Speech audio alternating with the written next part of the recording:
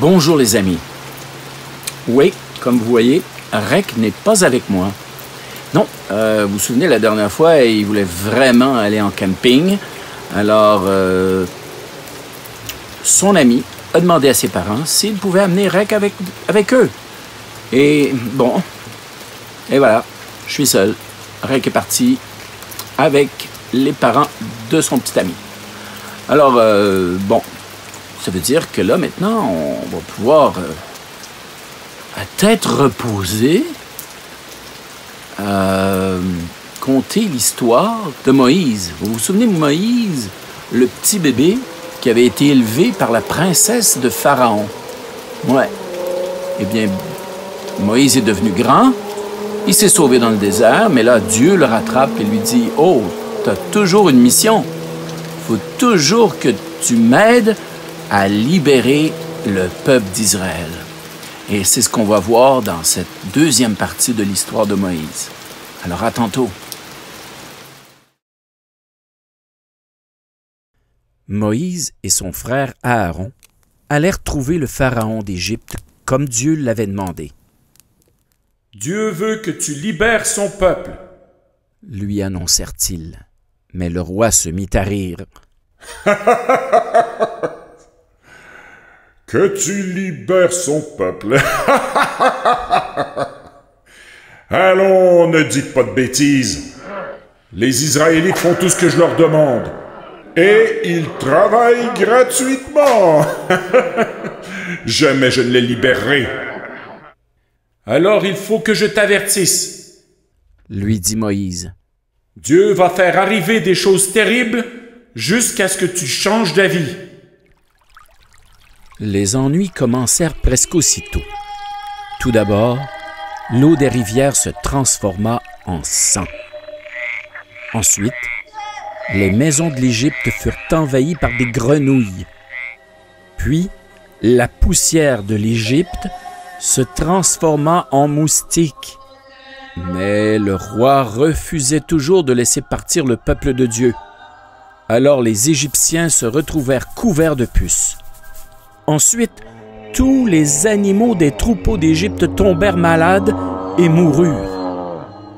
Puis, tous les habitants et tous les animaux d'Égypte eurent des plaies repoussantes sur la peau. Malgré tout, le Pharaon refusait toujours de laisser partir le peuple de Dieu. Alors, la grêle s'abattit sur le pays et détruisit les cultures. Ensuite, des sauterelles dévorèrent le peu qui restait à manger. Puis une grande noirceur plongea le pays dans la nuit pendant trois jours. Et malgré cela, le roi refusait toujours de laisser partir les Israélites. Pour finir, Dieu envoya un ange pour qu'il tue le fils aîné du roi, et aussi les fils aînés de tous les Égyptiens.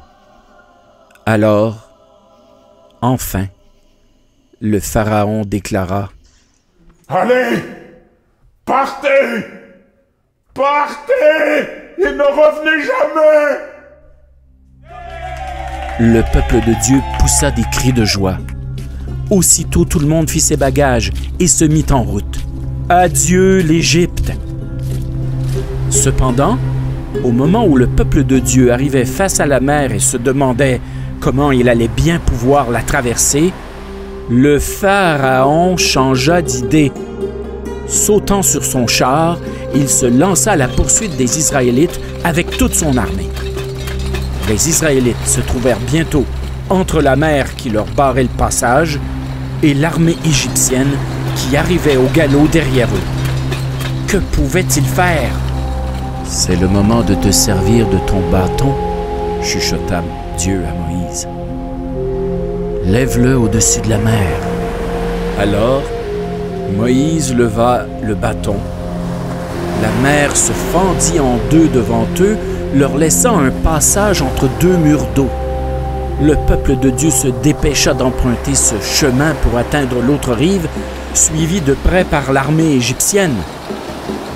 Dès que les derniers Israélites se trouvèrent en lieu sûr, de l'autre côté de la mer, Moïse baissa sa canne.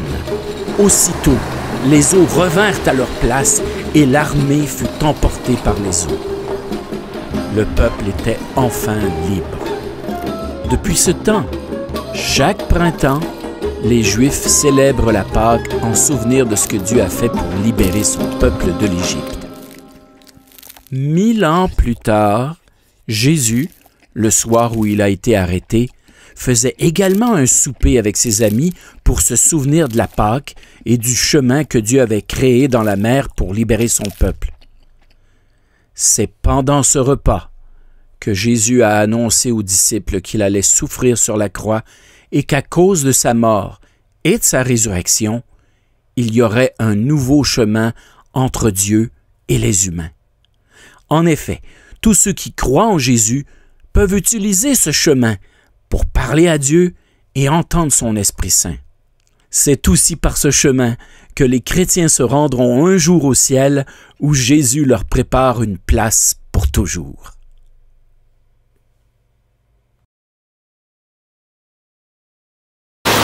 C'était l'histoire de Moïse.